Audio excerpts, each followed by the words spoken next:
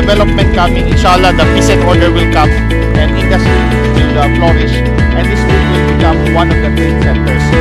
Ang bayan ng Sumisip ay isa sa mga tinaguriang legalong lugar at pinamumugaran ng armadong grupo sa probinsya ng Basilan. Kung kaya't gayon na lamang ang takot at pangambang nararamdaman ng mga residente at turista.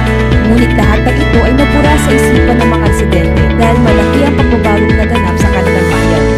Sa ngayon ay na na tubig na pang-araw-araw na pinagkukunan.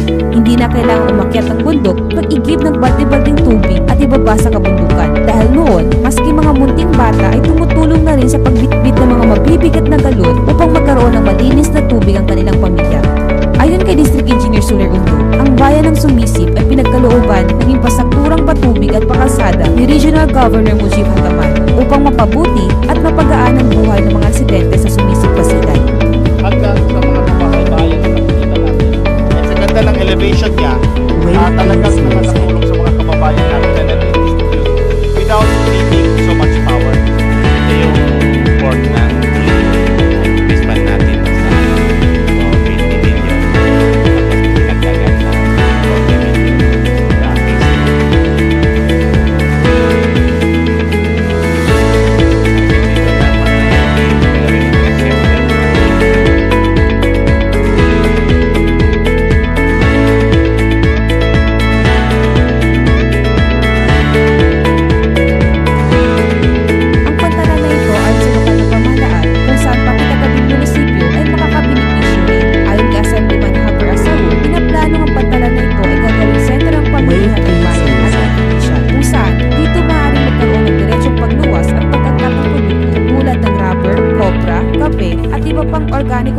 produkto sa ibang kalapit na bansa tulad ng Malaysia, Thailand, Vietnam at iba pa upang umusbong ang kalakaran at Actually, ang kahalaga nito sa kababayan dito sa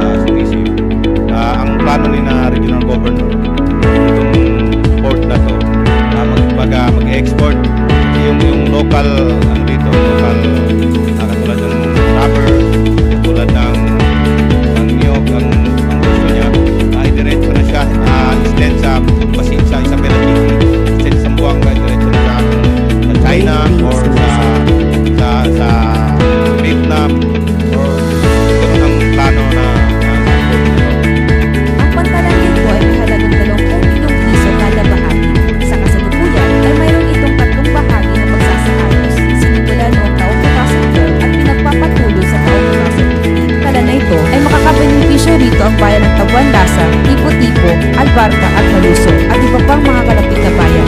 Ipinahayag rin ni Assemblyman Alice Mel ang kanyang pananaw sa isinasagawang pantalan. Narito ang kanyang pahayag.